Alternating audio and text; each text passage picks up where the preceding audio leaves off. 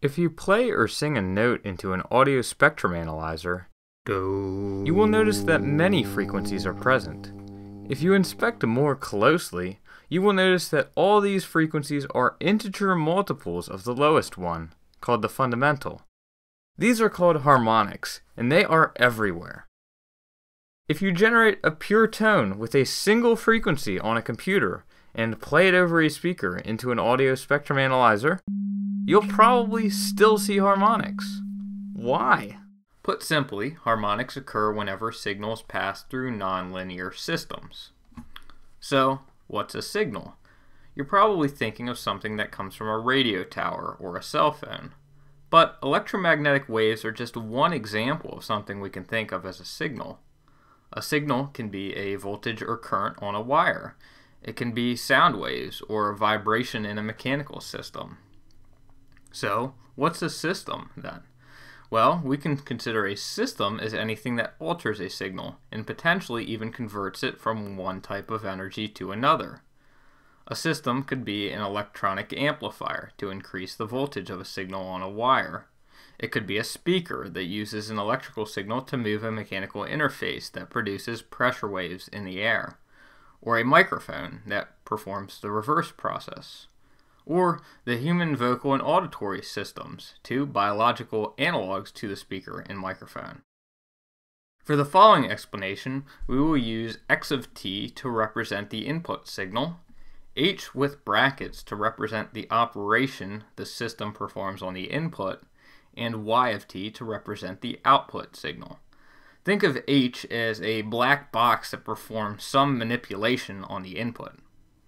So, h of x of t equals y of t. For a system to be linear, it must satisfy two properties, homogeneity and additivity. The homogeneity property, which states that if we know an input x of t produces an output y of t, then if we scale the input x of t by some constant alpha, the output y of t will also be scaled by alpha.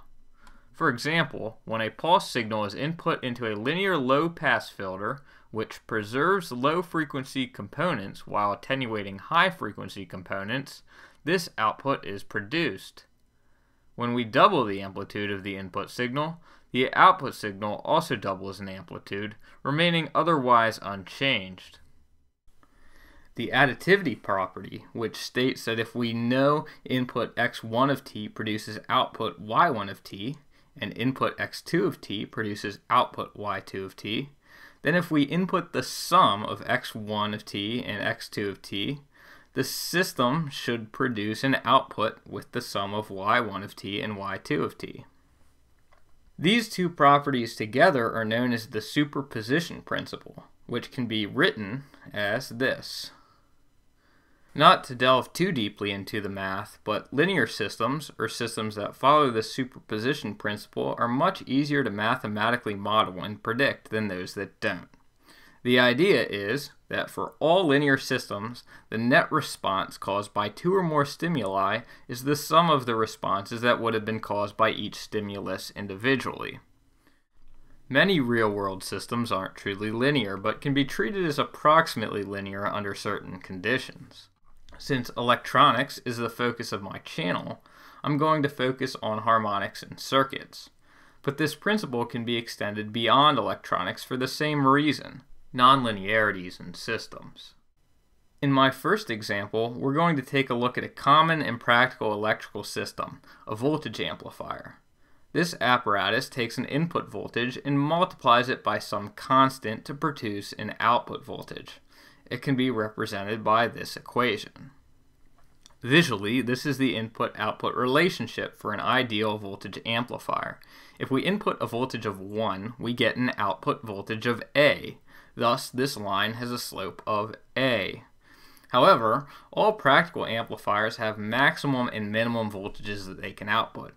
We can model an amplifier with this piecewise linear function. In actuality, these sharp non-differentiable points are rounded off. If further precision is necessary, this function can be approximated by a Taylor series, but we are getting beyond the scope of the video. If an input is present such that the output is capped by one of these bounds, we say that the amplifier is saturated. For example, let's say we have an amplifier with gain 10 and a saturating voltage of plus or minus 5 volts. We then input a sine wave with amplitude 1. On the output, the shape of the sinusoid is only faithfully represented for the parts of the cycle when the magnitude of the input is less than a half volt. When above this limit, the output gets pegged to plus or minus 5 volts. The output is said to be clipped. If we increase the amplitude of the input sine wave, the output basically becomes a square wave. So, visually on the waveform, clipping occurs. But what does this mean in the frequency domain? Well, whenever a waveform is not a pure sinusoid but still has a fundamental frequency, that is, it repeats itself at a constant interval, it contains multiple frequency components, each at an integer multiple of the fundamental frequency. So this is exactly why harmonics are produced in amplifiers, nonlinear circuits, and nonlinear physical systems in general. To further illustrate this concept, I created a simulation in Paul Falstad's circuit simulator. For simulation purposes, I'm using an input signal of 20 Hz and an operational amplifier with supply voltages of plus or minus 10 volts. This particular op amp saturates at about plus or minus 9 volts, slightly less than its supply voltage. When I input a pure sinusoid with an amplitude of 4 volts, the op amp can amplify it to 8 volts without saturating.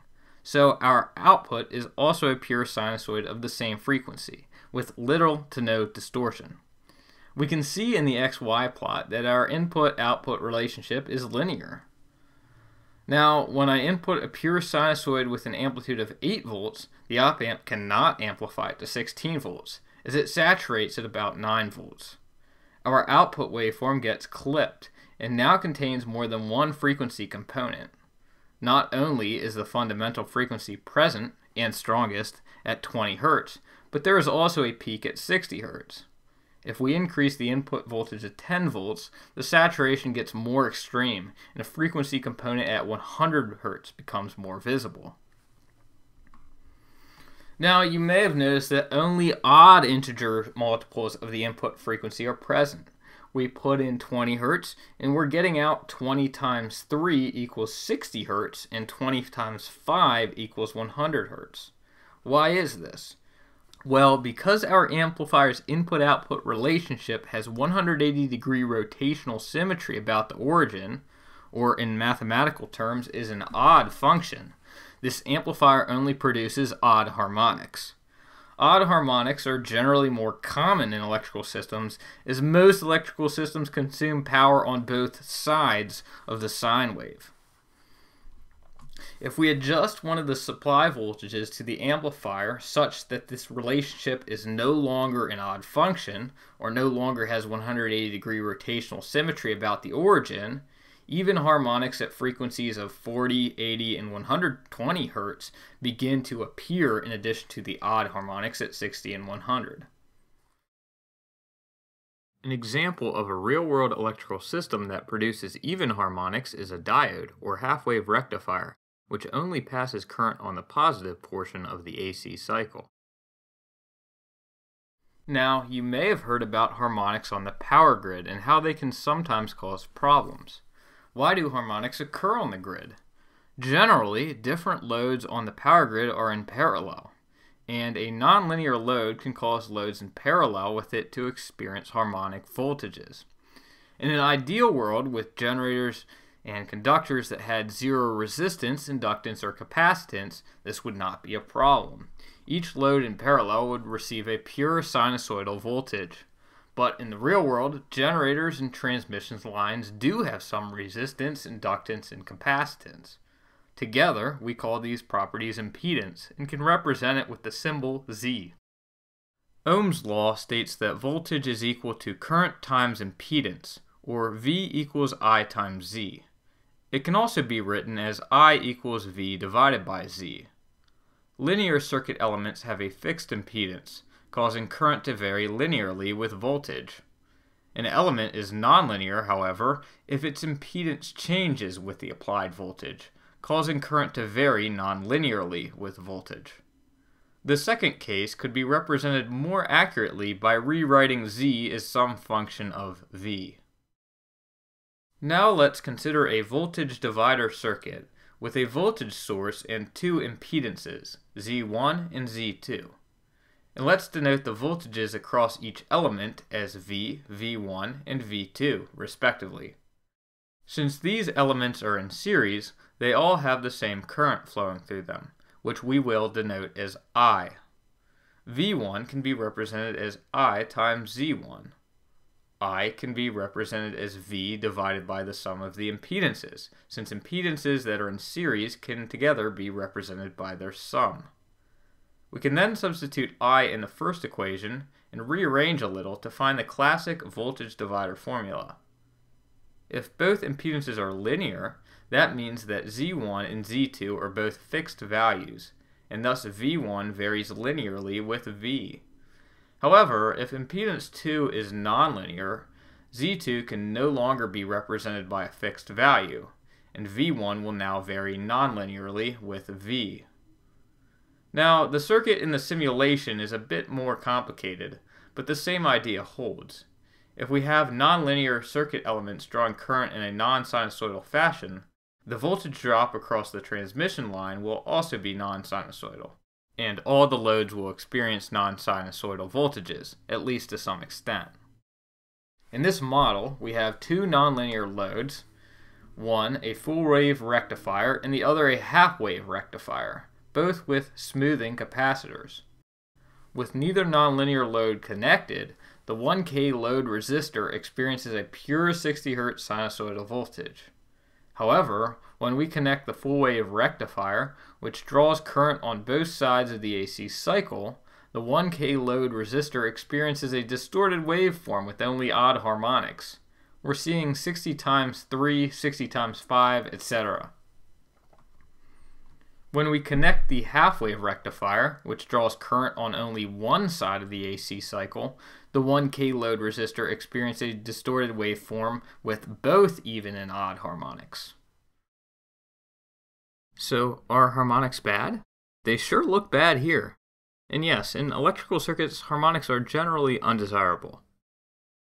In RF circuits, for example, an amplifier could cause a strong signal at 200 MHz to interfere with another at 600 MHz. In power circuits, a motor would experience multiple frequencies at once, causing it to run louder, generate more heat, and probably burn out faster, too. Harmonic mitigation is thus necessary for environments where there are high power nonlinear loads. A harmonic filter, in its simplest form, is just a tuned inductor capacitor circuit designed to shunt the voltage of a single harmonic frequency. Eaton Electrical has some great videos on how both passive and active harmonic filters work.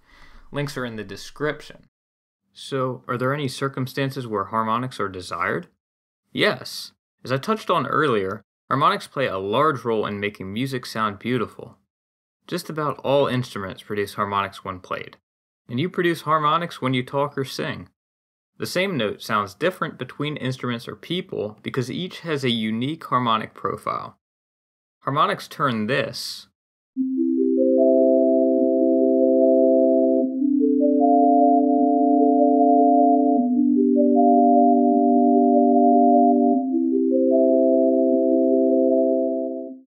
into this.